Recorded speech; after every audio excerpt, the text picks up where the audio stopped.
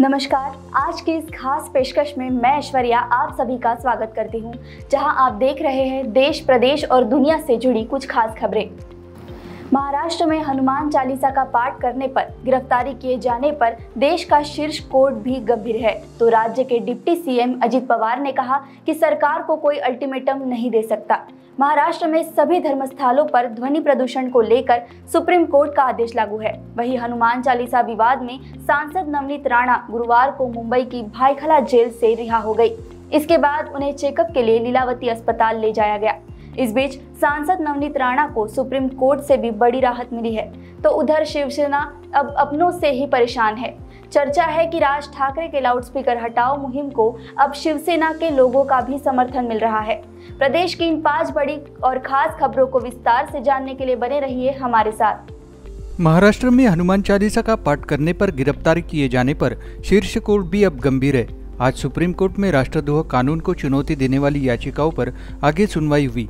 इस दौरान attorney general Venugopal ने पीठासीन जजों से कहा कि देश में क्या चल रहा है। यह कल आपने देखा होगा। मैं समझता हूँ कि राष्ट्रद्रोह कानून को लेकर व्यापक गाइडलाइन की ज़रूरत है। इस कानून को खारिज नहीं किया जाना चाहिए। सुनवाई के दौरान एजी ने महाराष्ट्र में हनुमान चालीसा का पाठ करने पर राष्ट्रद्रोह के तहत राणा दंपत्ति की गिरफ्तारी व बाद में जमानत पर रिहाई का भी ज़िक्र किया।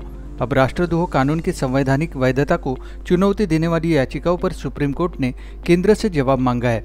इस पर एजी ने कहा कि वकीलों ने इसका प्रारूप तैयार कर लिया है। इसे दाखिल किए जाने के पूर्व सक्षम अधिकारियों से मंजूरी लेना है। सरकार जवाब दाखिल करे, तब तक सुनवाई स्थगित कर दी जाए। इसके बाद सुप्रीम कोर्ट ने केंद्र को जवाब दाखिल करने के लिए 9 मई तक का वक्त दे दिया। 10 मई को शीर्ष कोर्ट भादवी की धारा 124 ए के तहत आने वाले राष्ट्रद्रोह की संवैधानिक वैधता को चुनौती देने वाली याचिकाओं को बड़ी पीठ को भेजा जाना चाहिए या नहीं? कानूनी जानकार मानते हैं कि इस दिशा में सुप्रीम कोर्ट कोई नज़ीर पेश कर सकता है, क्योंकि अब संवेदनशील मुद्दों को भी अपने फ़ायदे के लिए तोड़ मरोड़ा जा रहा है। महाराष्ट्र की मस्जिदों पर लगे लाउडस्पीकर से अजान बंद कराने की मांग को लेकर मनसे प्रमुख राज ठाकरे द्वारा किए गए आंदोलन को लेकर रकापा व कांग्रेस ने निशाना साधा है। राज्य के डिप्टी सीएम अजित पवार ने कहा कि सरकार को कोई अल्टीमेटम नहीं दे सकता। महाराष्ट्र में सभी धर्मस्थलों पर ध्वनि प्रदूषण को लेकर सुप्रीम कोर्ट का आदेश लागू है। सरकार कानून व संविधान के अनुसार चलती है। यदि कोई भी कानून तोड़ेगा तो कठोर कार्रवाई होगी। इससे पहले मन से प्रमुख राज ठाकरे ने राज्य सरकार को अल्टीमेटम दिया था कि वह तीन मई तक मस्जिदों पर लगे लाउडस्पीकर हटा ले। इसके साथ ही उन्होंने जनता से अपील की थी कि यदि लाउडस्पीकर नहीं हटे तो वे अजान के वक्त ज़ोर की आवाज़ में लाउडस्पीकर पर हनुमान चालीसा बजाए। अजीत पवार ने मनसे प्रमुख का नाम लिए बगैर कहा कि किसी को भी अल्टीमेटम की भाषा में बात नहीं करना चाहिए। यह तानाशाही नहीं है। यदि आप ऐसी भाषा बोलना चाहते हैं तो घर में परिवारजनों के साथ बंद रहिए। हमें उससे कुछ लेना देना नहीं है। यदि सार्वजनिक रूप से ऐसे बयान दिए तो याद रखें, सरकार व देश, कानून व संविधान से चलता है। सभी के लिए नियम बराबर है। उधर महाराष्ट्र कांग्रेस ने दावा किया कि मस्जिदों पर लाउडस्पीकर को लेकर मनसे प्रमुख राज ठाकरे की आपत्ति से हिंदुओं को ज़्यादा नुकसान हुआ है। अजान बंद कर दी गई है, लेकिन काकड़ आरती भी बंद हो गई है। चर्च, गुरुद्वारे और बौद्ध मंदिर भी लाउडस्पीकर का उपयोग नहीं कर पा रहे हैं। हनुमान चालीसा विवाद में सांसद नवनीत राणा गुरुवार को मुंबई की भाईखला जेल से रिहा हो गई। इसके बाद उन्हें चेकअप के लिए लीलावती अस्पताल ले जाया गया। इससे पहले दिन में मुंबई की बोरीवली कोर्ट ने नवनीत राणा और उनके पति व विधायक रवि राणा की रिहाई का आदेश जारी किया था। राणा दंपति को यह घोषित करने के बाद गिरफ़्तार किया गया था कि वे महाराष्ट्र के मुख्यमंत्री उद्धव ठाकरे के आवास के बाहर हनुमान चालीसा का पाठ करेंगे। राणा दंपति से जमानत राशि के तौर पर प्रत्येक से पचास पचास हज़ार रुपए लिए गए। बोरिवली कोर्ट से राणा दंपत्ति के वकीलों की एक टीम रवि राणा की रिहाई के लिए तलोजा जेल के लिए रवाना हुई और दूसरी टीम भाईखला जेल के लिए रवाना हुई, जहाँ नवनीत राणा बंद थी। नवनीत राणा के वकील ने उनकी रिहाई आदेश की एक प्रति भाईखला जेल के बाहर रखी, जमानत पेटी में डाल दी थी। नवनीत राणा और रवि राणा को बुधवार सुबह जमानत दी गई थी। उन्हें कल जेल से रिहा नहीं किया गया, क्योंकि उनकी रिहाई के आदेश संबंधित मजिस्ट्रेट अदालत से नियत समय पर प्राप्त नहीं किए जा सके। एमपी एमएलए दंपत्ति को 23 अप्रैल को उनके मुंबई आवास से गिरफ़्तार किया गया था। दरअसल उन्होंने घोषणा की थी कि वे बांद्रा में उद्धव ठाकरे के घर के बाहर हनुमान चालीसा का पाठ करेंगे। देशद्रोह और दुश्मनी को बढ़ावा देने के आरोप में गिरफ़्तार नवनीत राणा को बुधवार को स्पॉन्डिलाइसिस के इलाज के लिए भाईकला जेल से जेजे अस्पताल में स्थानांतरित कर दिया गया था। बाद में शाम को उन्हें वापस जेल ले जाया गया। सांसद नवनीत राणा को सुप्रीम कोर्ट से एक और राहत मिली है। उच्चतम न्यायालय ने आज कहा कि वह जुलाई में लोकसभा सांसद नवनीत कौर राणा की उस अपील पर सुनवाई करेगी, जिसमें बम्बई उच्च न्यायालय के जाति प्रमाण पत्र को रद्द करने के फैसले को चुनौती दी गई थी। निर्दलीय सांसद नवनीत कौर राणा महाराष्ट्र की अनुसूचित जाति के लिए आरक्षित अमरावती निर्वाचन क्षेत्र का प्रतिनिधित्व करती है। न्यायमूर्ति विनीत सरन और न्यायमूर्ति जे के माहेश्वरी की पीठ ने मामले पर सुनवाई को स्थगित कर दिया। इससे पहले राणा की ओर से पेश वरिष्ठ अधिवक्ता मुकुल रोहतगी ने कहा था कि उन्हें कुछ समय चाहिए। इस पर पीठ ने कहा कि हम जुलाई में मामले पर सुनवाई करेंगे। लिहाजा अब छुट्टियों के बाद नई पीठ के मामले पर सुनवाई होने की संभावना है, क्योंकि न्यायमूर्ति सरन 10 मई को सेवानिवृत्त होने वाले हैं। शीर्ष अदालत ने पिछले साल 22 जून को राणा का जाति प्रमाण पत्र रद्द करने के उच्च न्यायालय के फैसले पर रोक लगा दी थी। बम्बई उच्च न्यायालय ने कहा था कि जाली दस्तावेजों का इस्तेमाल कर फर्जी तरीके से जाति प्रमाण पत्र हासिल किया गया। अदालत ने राणा पर दो लाख रुपए का जुर्माना भी लगाया गया था। राणे ने 2019 में अमरावती से चुनाव जीता था। उन्होंने अपने हलफनामे में दावा किया था कि वह मोची जाति से नाता रखती है। चुनाव में राष्ट्रवादी कांग्रेस पार्टी ने उनका समर्थन किया था। मनसे प्रमुख राज ठाकरे महाराष्ट्र की उद्धव सरकार के लिए बड़े परेशानी का सबब बनते जा रहे हैं। राज ठाकरे ने ऐलान किया है कि अब हर मस्जिद के सामने उससे दोगुनी हनुमान चालीसा बजाया जाएगा। इसके बाद प्रदेश भर में सैकड़ों महाराष्ट्र नवनिर्माण सेना के कार्यकर्ता हिरासत में ले लिए गए। इसके बाद शाम को वी प्रेस कॉन्फ्रेंस में राज ठाकरे ने कहा कि जब लाउडस्पीकर पर अजान होगी, हनुमान चालीसा का पाठ होता रहेगा। बड़ी बात तो यह है कि इस पूरी मुहिम को अब शिवसेना के लोगों का भी समर्थन मिल रहा है। राज ठाकरे आज मस्जिदों से लाउडस्पीकरों को नीचे लाने और मुसलमानों को सड़कों पर नमाज़ पढ़ने से रोकने की मांग कर रहे हैं। कभी बाल ठाकरे भी यही मांग कर रहे थे। शायद इसलिए कहीं न कहीं शिवसैनिक राज के समर्थन में दिख रहे। मुंबई में एक पूर्व शाखा प्रमुख ने कहा कि हम असहमत कैसे हो सकते हैं। बाला साहब की यही स्थिति रही है। हमें राज के बजाय इस मुद्दे को उठाना चाहिए था। शिवसेना के कुछ पदाधिकारियों ने दावा किया कि राज ठाकरे के इस कदम के निन्यानवे प्रतिशत शिवसैनिक समर्थन कर रहे हैं। राज ठाकरे ने बुधवार को बाल ठाकरे का एक पुराना वीडियो शेयर किया था, जिसमें वे लाउडस्पीकर को लेकर बोल रहे हैं। जानकार मानते हैं कि यही कारण है कि शिवसेना डैमेज कंट्रोल के लिए लगातार केंद्र सरकार के पाले में लाउडस्पीकर की राजनीतिक गेंद को डाल रही है। वह एक तीर से दो शिकार करने की फिराक में है, लेकिन शिकार कमज़ोर नहीं, वह हिंदुत्व का चोला ओढ़कर और मज़बूत हुआ है।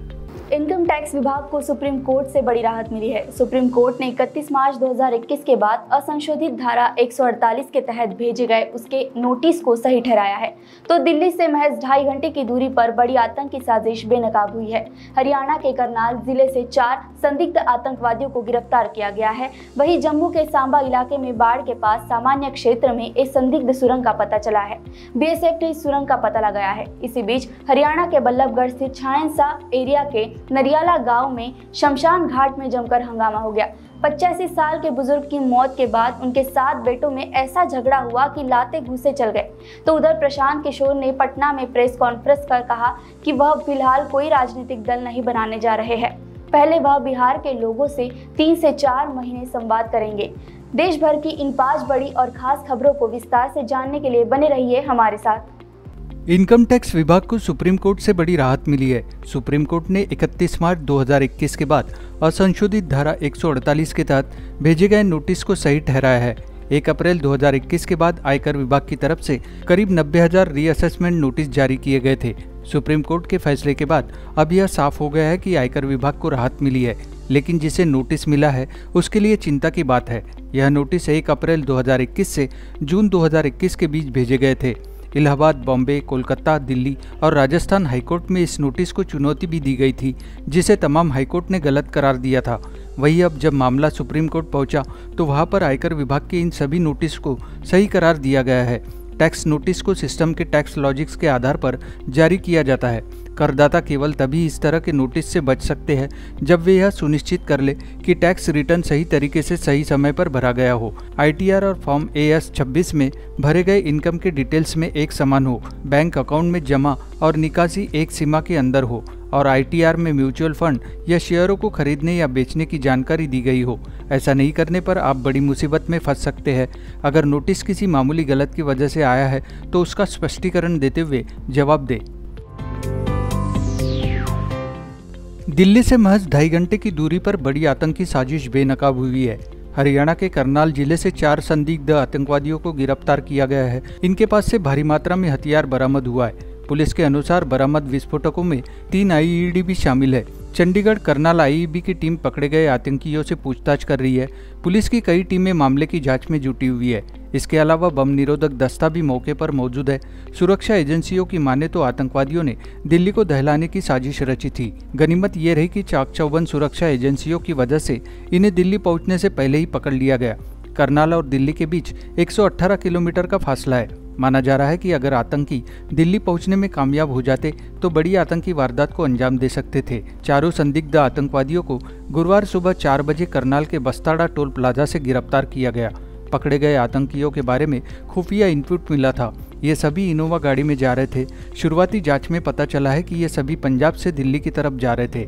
आतंकी एक इनोवा में सवार होकर करनाल के रास्ते दिल्ली पहुँचने की फिराक में थे, लेकिन हाल ही में पंजाब के पटियाला में हुई हिंसा और तमाम खुफिया इनपुट की वजह से सुरक्षा एजेंसियाँ पूरी तरह अलर्ट थी। बताया जा रहा है कि दिल्ली के रास्ते ये संदिग्ध आतंकी महाराष्ट्र के नांदेड़ जा रहे थे। जम्मू के सांबा इलाके में बाढ़ के पास सामान्य क्षेत्र में एक संदिग्ध सुरंग का पता चला है। बीएसएफ ने इस सुरंग का पता लगाया है। ऐसा माना जा रहा है कि आतंकियों की तरफ़ से अमरनाथ यात्रा पर हमले की साजिश रची गई थी, जिसके चलते इस सुरंग का निर्माण किया गया था।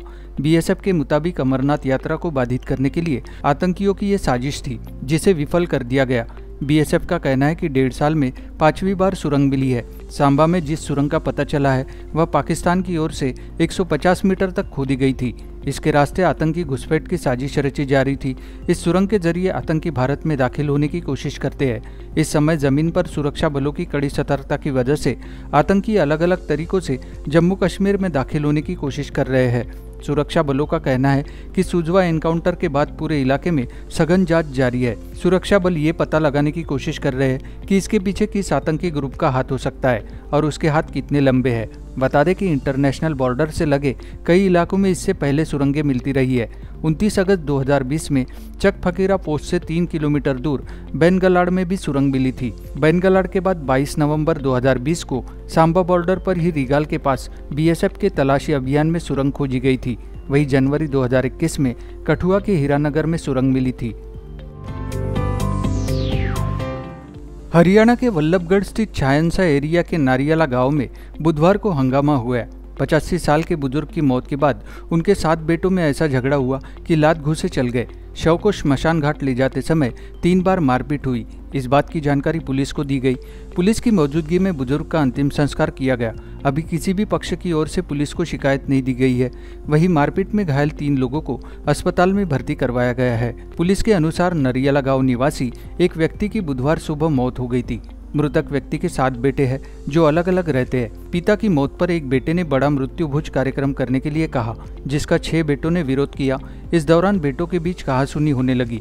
गाँव के सगे संबंधियों ने जैसे तैसे मामले को शांत कराया और बुज़ुर्ग के शव को श्मशान घाट ले जाने लगे। इस दौरान रास्ते में फिर से बेटों के बीच झगड़ा होने लगा।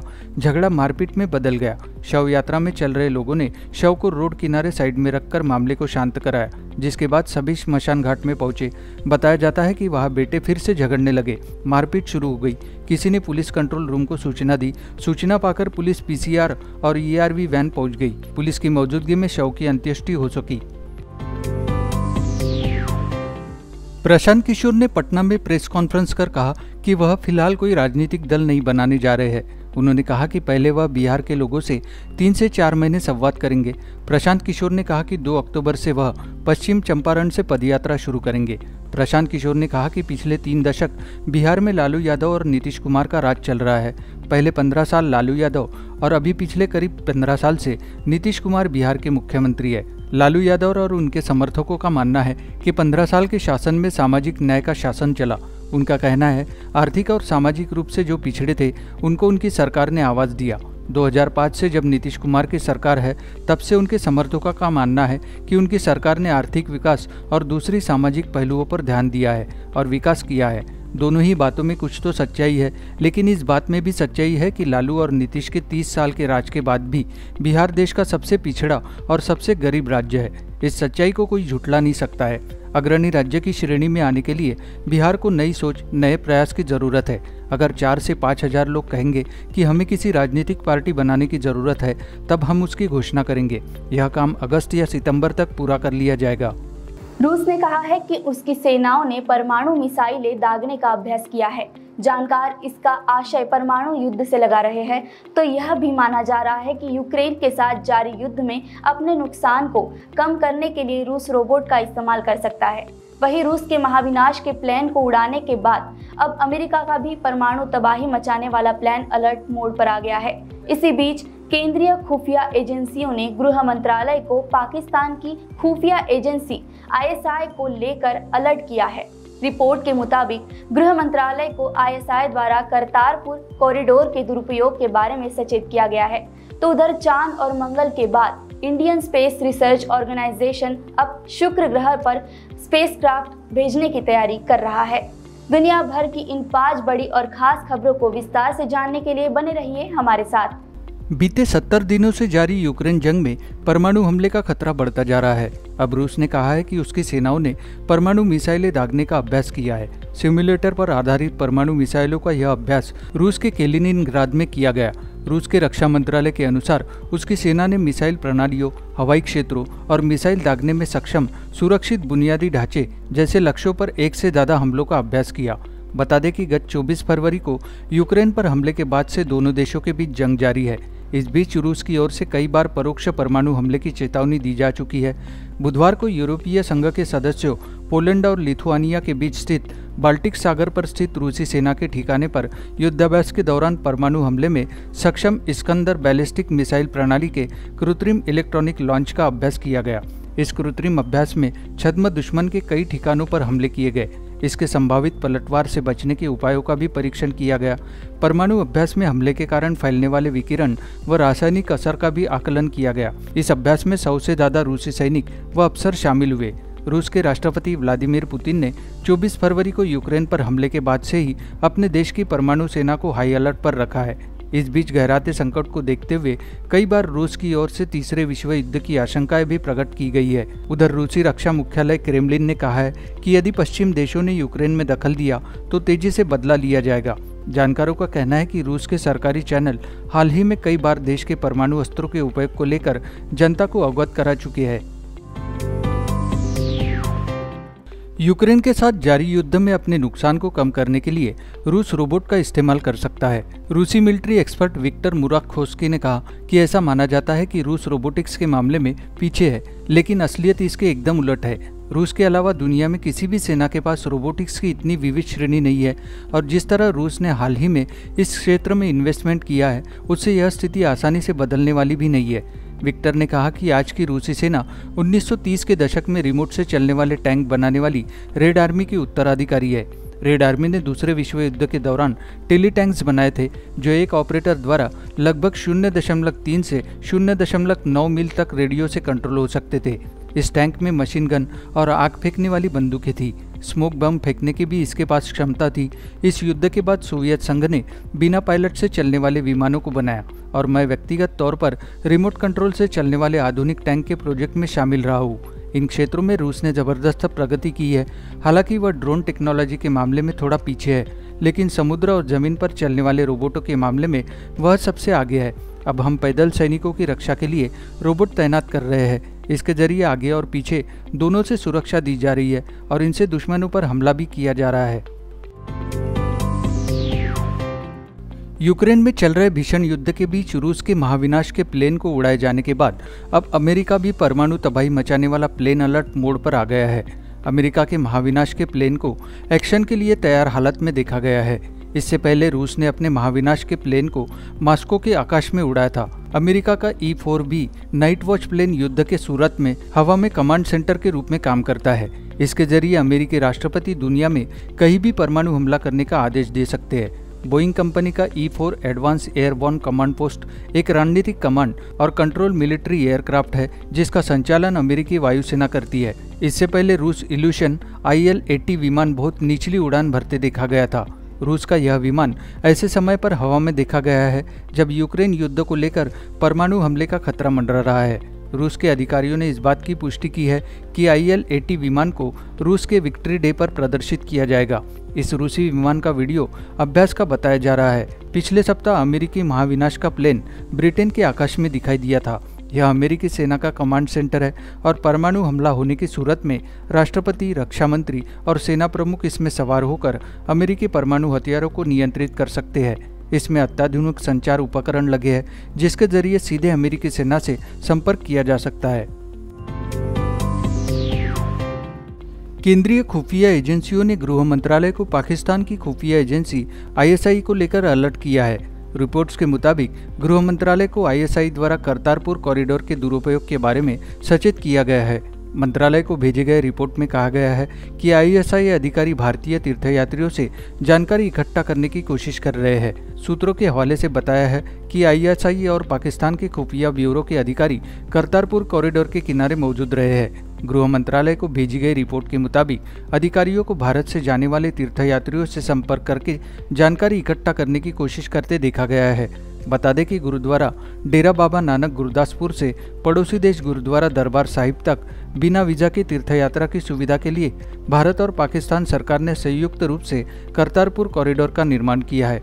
कॉरिडोर का शिलान्यास 26 नवंबर 2018 को पीएम नरेंद्र मोदी द्वारा किया गया था। अधिकारियों ने कहा है कि भारत ने गलियारे के दुरुपयोग को लेकर गंभीर है और हमने एजेंसियों से और सबूत और दुरुपयोग के मामले जमा करने के लिए कहा है। ताकि मामले को पाकिस्तान के अधिकारियों के सामने उठाया जा सके। इंटेलिजेंस के सूत्रों ने कहा है कि कॉरिडोर का इस्तेमाल व्यावसायिक बैठकों के लिए भी किए जाने की रिपोर्ट है, जिसे कॉरिडोर को चालू करने के लिए दोनों देशों के बीच हस्ताक्षरित एक समझौते के अनुसार अनुमति नहीं थी। चाँद और मंगल के बाद इंडियन स्पेस रिसर्च ऑर्गेनाइजेशन अब शुक्र ग्रह पर भी स्पेसक्राफ्ट भेजने की तैयारी कर रहा है। इसरो के चेयरमैन एस सोमनाथ का कहना है कि भारत के पास शुक्र के लिए मिशन बनाने और लॉन्च करने की क्षमता मौजूद है। सोमनाथ कहते हैं कि यह मिशन शुक्र के वातावरण को स्टडी करने के लिए लॉन्च किया जाएगा। जानकारी के मुताबिक शुक्र का वातावरण काफ़ी जहरीला है और पूरा ग्रह सल्फ्यूरिक एसिड के बादलों से ढका हुआ है। सोमनाथ के अनुसार शुक्र पर स्पेसक्राफ्ट भेजने के लिए सालों से रिसर्च की जा रही है और अब इसरो के पास इस मिशन के लिए प्लान तैयार है। शुक्र को पृथ्वी का जुड़वा माना जाता है। इनका आकार और माप काफ़ी हद तक मिलता जुलता है। साथ ही इनकी रचना भी एक दूसरे के समान ही है। अमेरिका समेत कई देश शुक्र पर सालों से रिसर्च कर रहे हैं। वैज्ञानिक इस ग्रह पर मिशन भेजकर ये जानना चाहते हैं कि आखिर कब और कैसे शुक्र के वातावरण में बदलाव हुआ। दरअसल वैज्ञानिकों का मानना है कि एक समय पर शुक्र भी पृथ्वी की तरह ही रहने लायक था। हालाँकि क्लाइमेट चेंज के कारण उसका वातावरण जहरीला बन गया। सोमनाथ का कहना है कि उनकी टीम मंगलयान और चंद्रयान जैसे सफल मिशन की तरह ही शुक्र मिशन पर भी काम करेगी। फ़िलहाल इस मिशन के लिए स्पेसक्राफ्ट कब तैयार होगा, इस बारे में सोमनाथ ने कोई जानकारी नहीं दी है, लेकिन कहा है कि हमारा लक्ष्य शुक्र पर कुछ नया ढूंढना है। जिन चीज़ों पर पहले ही रिसर्च की जा चुकी है, हम उनसे कुछ अलग खोजेंगे। तो आज की इस खास पेशकश में बस इतना ही। कल फिर मिलेंगे। तब तक देखते रहिए वीके न्यूज़ नमस्कार।